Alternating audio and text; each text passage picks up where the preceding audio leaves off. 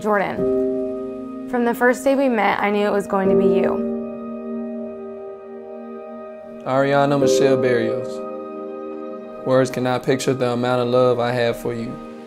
The compassion you show others is the love I've always wanted. From day one, you have always been by my side.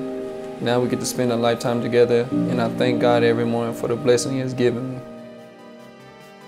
I love you more than words can describe, and I can't wait to marry you.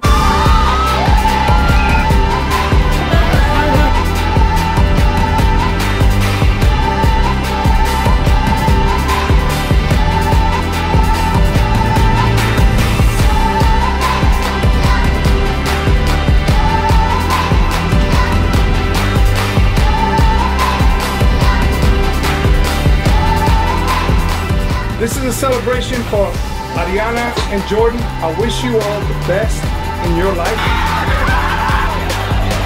This is what love and family looks like. You understand?